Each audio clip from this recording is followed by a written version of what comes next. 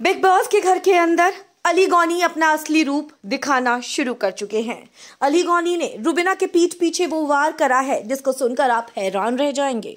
वो अली गौनी, जो कल तक ये कह रहे थे कि उनको रुबिना से पॉजिटिव वाइब्स आ रही हैं, अब उस अली गौनी ने रुबिना के लिए कुछ ऐसा बोल दिया कि रुबिना के फैंस अली से पूरी तरह से नाराज़ हो जाएँगे।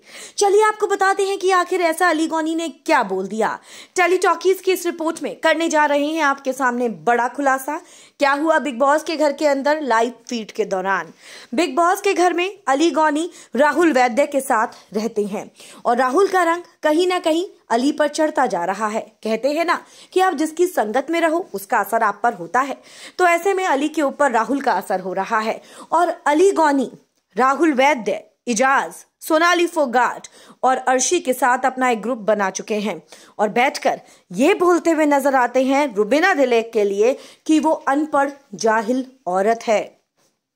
वो रुबिना अनपढ़ है, जिसकी अंग्रेज़ी घर वालों को समझ तक नहीं आती। उनके ऊपर से निकल जाती है।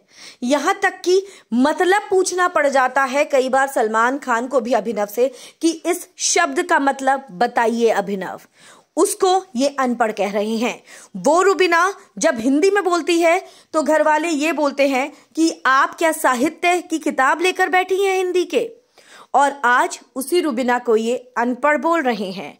वो रुबिना जो घर में सबसे ज़्यादा समझदार और नॉलेजेबल है जो आईएएस की प्रिपरेशन कर रही थी, वो, जो ना सिर्फ़ अपनी खूबसूरती, बल्कि अपने दिमाग के बल पर मिस शिमला तक रह चुकी है, उसके लिए इस तरह के लफ्जों का इस्तेमाल करते हुए नज़र आ रहे हैं अली गौनी।